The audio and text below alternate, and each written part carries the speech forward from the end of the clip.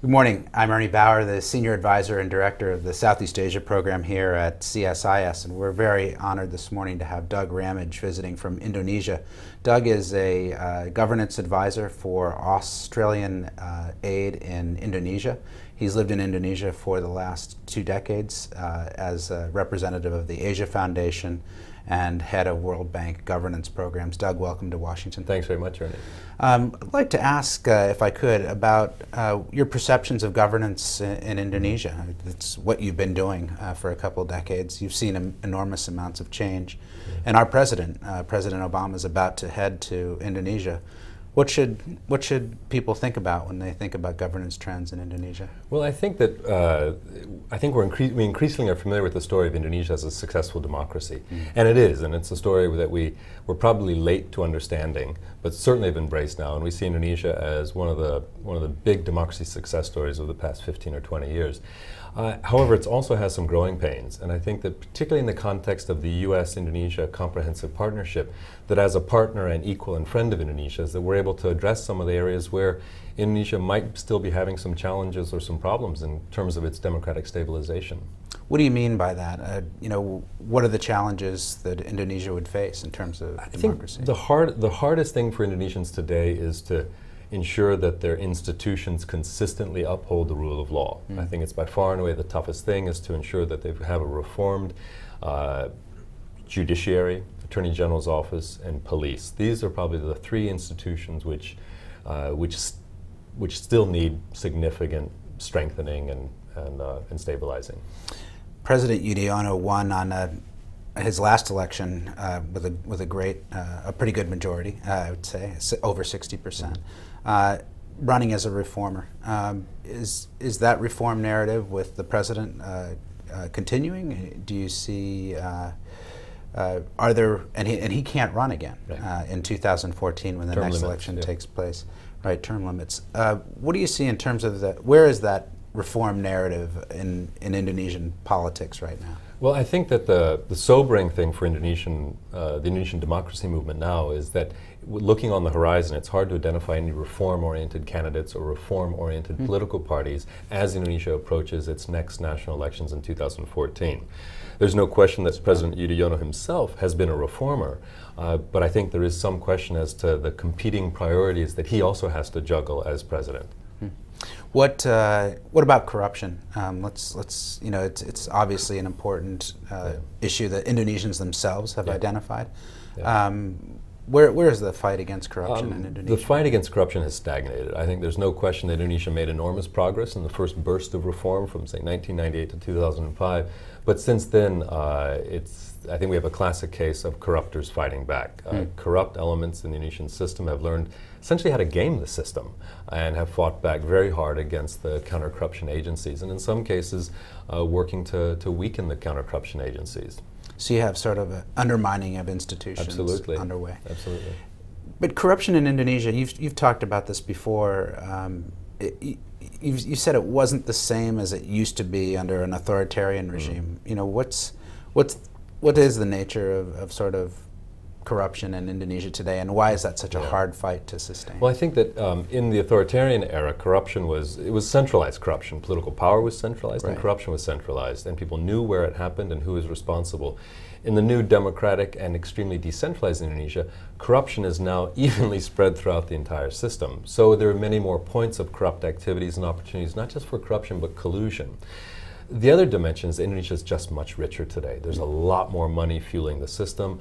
Uh, corporate earnings are at all-time highs. The country is growing robustly uh, uh, economically. Foreign investment is up, and all this simply makes a lot more money sloshing around the system, uh, and that in turn fuels the political party system in Indonesia. So a lot of money is needed to, to run the political party system. How has Indonesian governance affected Indonesian foreign policy and its presence on the world stage? Well, I think one of the most dramatic changes in Indonesia's orientation to the world is that Indonesia now trades heavily on its credentials as a yeah. democratic country. Exactly. And it's extraordinary as we look at Indonesia as a partner of the United States uh, and a friend. Indonesia uh, has a democracy promotion element in its foreign policy. Uh, this is, I mean, who, who would have, who could have imagined this uh, 15 mm. years ago? Exactly. Does, uh, does governance um, impact business and economics in Indonesia? I mean, do you do you see yeah. uh, a correlation between the two? And I, I, think it hugely does. Um, I think in the early part of the post-Suharto era, we saw that uh, that businesses were very concerned about whether, particularly foreign business, but also Indonesian businesses alike, were concerned whether contracts would be enforced and, the, and, uh, and whether the rule of law would, would, pertain to business contracts. I think today the concern is much more on the services the government needs to provide to provide a healthy business environment. And the big obstacles in Indonesia remain what we've known for years. One is infrastructure, which is choking, oh, it's not choking, but it's certainly slowing uh, the rate of growth, the lack of infrastructure. And the other is the regulatory environment, rem which remains particularly complex and burdensome, both for Indonesian as well as foreign businesses. Mm, yeah. I, I, I, see a lot of American companies looking at Indonesia as the, as the next new frontier. Mm. You know, they're having trouble, you know, getting into China now. Uh, it seems like the doors are mm-hmm. starting to close there a little more. India is complex. Mm-hmm. Um, but would you say, what would you tell uh, an American investor who's looking at Indonesia, you know, maybe for the first time? Well, if you're um, if you're big in Asia, if you're an American company, you're big in Asia. You're surely in India and China, mm-hmm. but you've got to now, I think, have a two plus one strategy. In earlier years, the plus ones were breaking in favor of Thailand. I think in the past five years, we're seeing clearly the plus ones breaking in favor of Indonesia. Mm-hmm. It's a backup. We also know now, and American businesses know now, it's also challenging to do business in India and China, and that by comparison, Indonesia um, particularly driven by strong domestic consumption, is an attractive uh, additional market for a China India uh, China and India uh, focus. Yesterday, the uh, the Pew uh, Research uh, Group issued a, a, report saying that perceptions of American power around the world are that you know American power is diminished relative, particularly relative to China. What do Indonesians think of the United States now, and, mm. and how do they how do they think about the United States and, and China?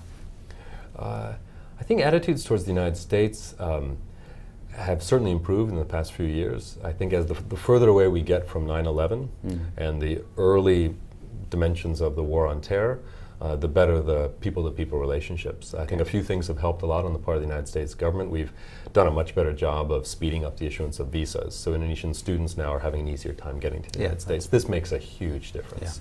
Yeah. Um, perceptions of American popular culture, science and technology, hugely popular.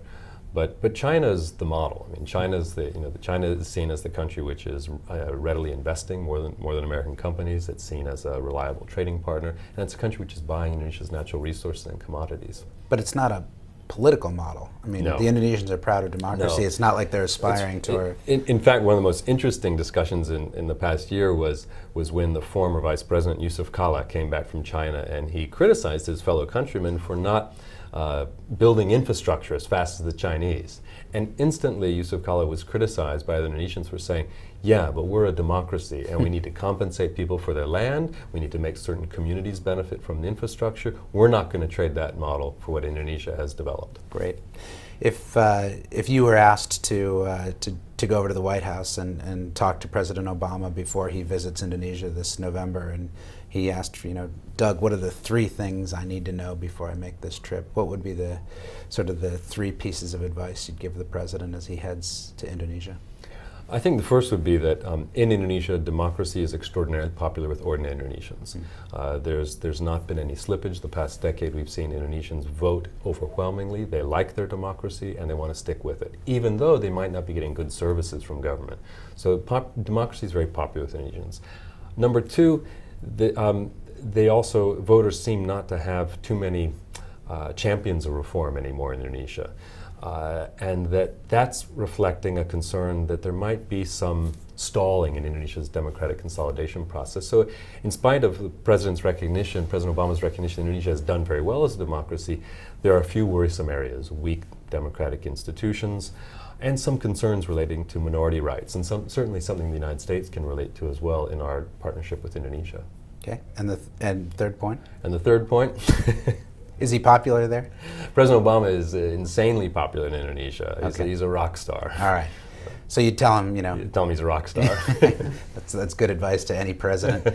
I'd like to thank uh, thank you for joining us and thank Doug Ramage for spending a little time here at CSIS. Thanks, Thanks very much. Appreciate it's nice to be here. Thanks.